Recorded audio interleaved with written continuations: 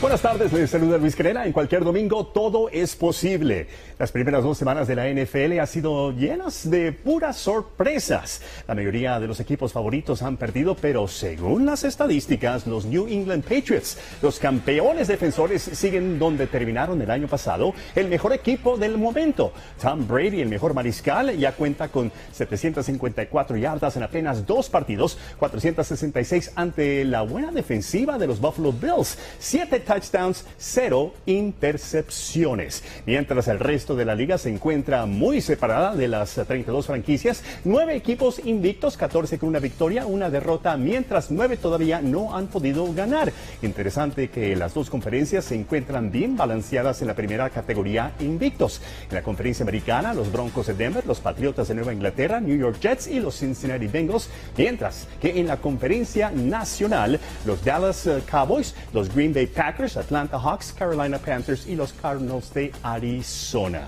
Regionalmente, los Broncos de Denver siguen cometiendo muchos errores. Es evidente que los cinco linieros necesitan más tiempo para entenderse. Desafortunadamente, los Chiefs y los Ravens ofrecieron una buena defensiva que fue problemática. El director técnico Gary Kubiak sabe que después de cuatro semanas deben saber si tendrán que hacer unos cambios de talento para abrir campo para su ataque terrestre con CJ Anderson y Ronnie Hillman. La razón de la importancia de la línea ofensiva es que tienen que establecer el ataque terrestre con lo que al momento está trabajando el brazo de Peyton Manning y su ataque aéreo, mientras los rivales se están dando cuenta de las debilidades del equipo y están presionando a la línea ofensiva sabiendo que el mariscal no ha lanzado más de 20 yardas y están usando más gente cerca de la línea para presionar al mariscal a que lance el balón antes del el tiempo.